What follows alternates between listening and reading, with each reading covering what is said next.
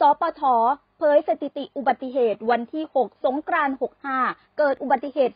241 ครั้ง เสียชีวิต 28 ราย สาเหตุสูงสุด ขับรถเร็วเกินกำหนด รองลงมา ดื่มแล้วขับ 17 เมษายน 65 ศูนย์อำนวยการป้องกันและลดอุบัติเหตุทางถนน หรือสปท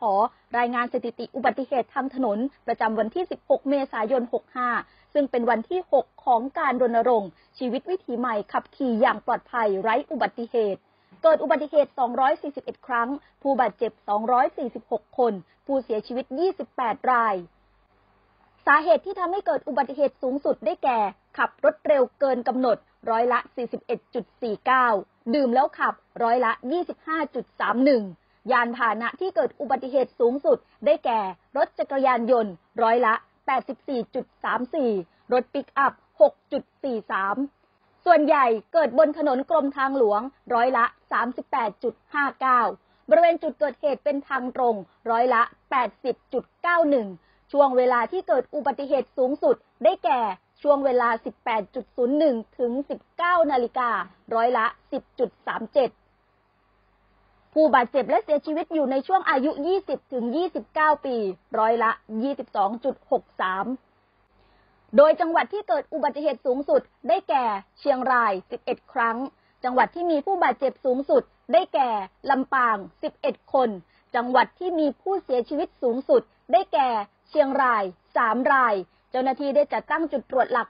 1,900 จุด เรียกตรวจยานพาหนะ 41,818 คัน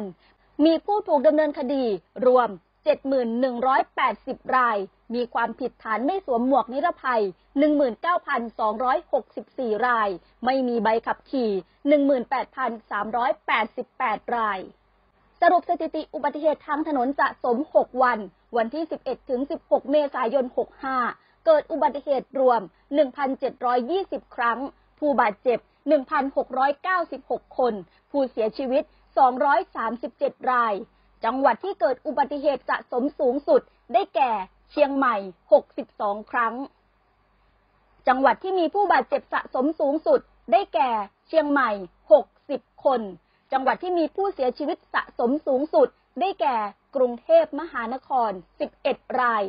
จังหวัดที่ไม่มีผู้เสียชีวิตรวม 10 จังหวัด ได้แก่ นครพนม บึงกาฬ ปัตตานี ยะลา ระนอง ลำพูน สมุทรสงคราม สิงห์บุรี หนองบัวลำพู และอำนาจเจริญ